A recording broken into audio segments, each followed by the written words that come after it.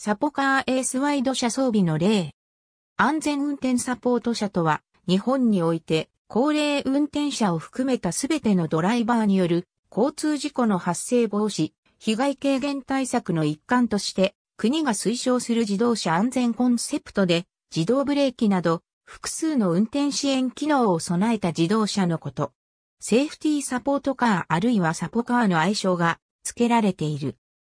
国土交通省が主導してきた運転者の負担軽減を目指した、いわゆる先進安全自動車とは趣旨がやや異なり、内閣府特命担当大臣を本部長とする政府の交通対策本部を中心に、経済産業省、国土交通省、金融庁、警察庁が取りまとめた高齢運転者を中心とした運転者による操作ミス防止に主軸を置いて普及を推進する施策である。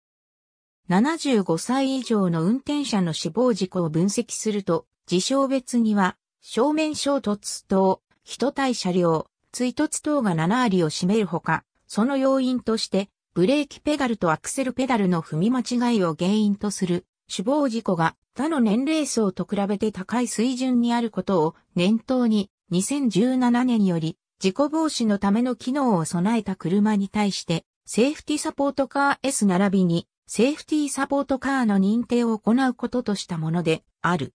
日本国内の主要自動車メーカーが趣旨に賛同し、サポカーエース、サポカーをラインナップに積極的に導入しているほか、先進安全技術の体感会などを開催している。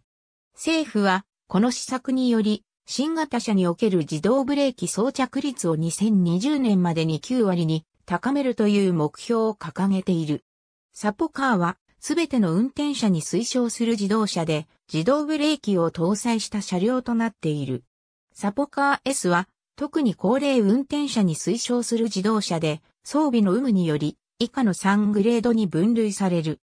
なお、これらの表記は自動車アセスメントのように性能を評価するものではなく、あくまでもどんな装置が装着されているかを各社間で共通化して表記するためのものである。ありがとうございます。